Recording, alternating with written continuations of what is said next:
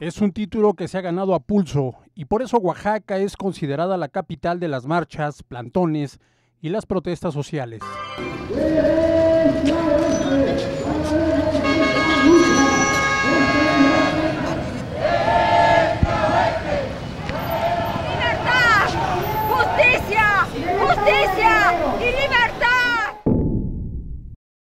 Para que de manera tajante ponga a trabajar a sus, dependencias, tanto a Cevitra como a la Dirección General de Tránsito del Estado. Estamos aquí tomando esta, estas vías porque no se, no se nos ha dado respuesta en cuanto a nuestro pago.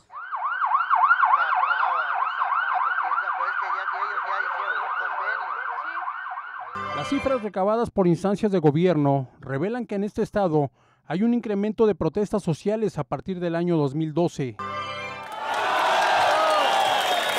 Nuestro exhorto, compañeros, y nos vamos. Policía Estatal.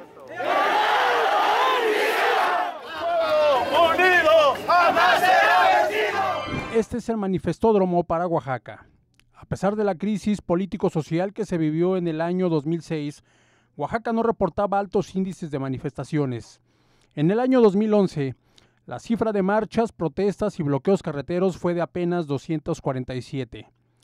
El recuento era hasta cierto punto aceptable en la sociedad si se considera que para el año siguiente, en el 2012, estas mismas acciones de protesta se elevaron hasta en un 500%, es decir, en este mismo rubro se contaron 2.910 actividades realizadas por grupos políticos, organismos sociales, sindicatos, habitantes inconformes, trabajadores, maestros, campesinos y estudiantes.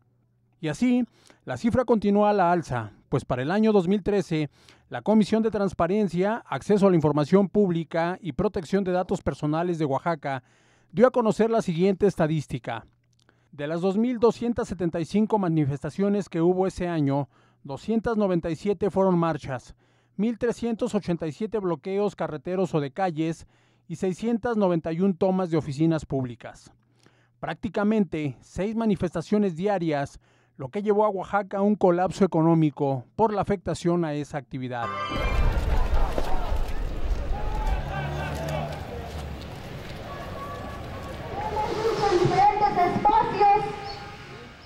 Son. La verdad, ya lo que queremos es que digan la verdad y queremos solución. No queremos una camisa de ningún color, ni dijeran, porque estamos y a veces ya perdemos, son como las religiones, perdemos hasta la fe. Preocupados por este fenómeno social, empresarios, comerciantes, amas de casa, trabajadores, estudiantes y hasta la Iglesia Católica se han pronunciado por la regulación de las manifestaciones a través de una ley que contemple no más daños a la ciudadanía.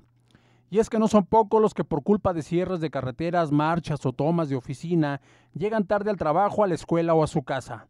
Tampoco son pocos los que por estos mismos motivos ven afectada su economía.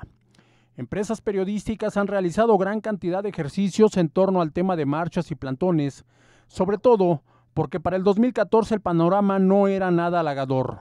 En los meses de enero y febrero de ese año se registraron tan solo 559 movilizaciones sociales. Pero estas acciones también provocan una distracción de recursos económicos.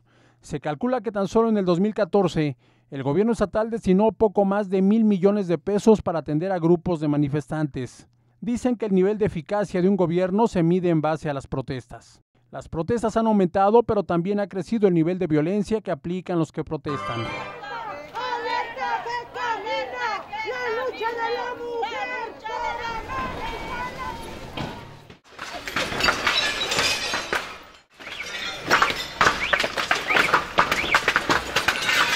que tiene que ver con la reforma al Código Penal, que es precisamente donde se requiere que forzosamente eh, se tipifique el tema de asunto de los daños que se ocasionan cuando alguien va embosado o encapuchado en una marcha.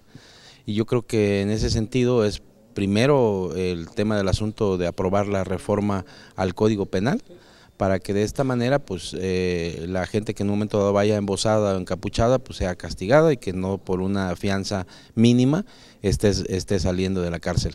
Y la otra es bueno pues el tema de la iniciativa que tiene que ver con el hecho de regular marchas y plantones, no significa de que estemos coartando la libertad de expresión, simple y sencillamente yo creo que debemos de respetar los derechos de las terceras personas.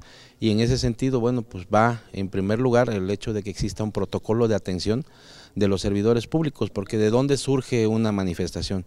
De una falta de atención de un servidor público, ya sea municipal, estatal o federal. Pero, ¿por qué Oaxaca está a la cabeza de protestas sociales? ¿Se ha permitido un libertinaje a estas acciones? ¿Y la federación dónde queda cuando se trastocan instancias sociales?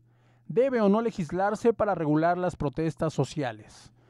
¿Y los derechos de los terceros dónde quedan?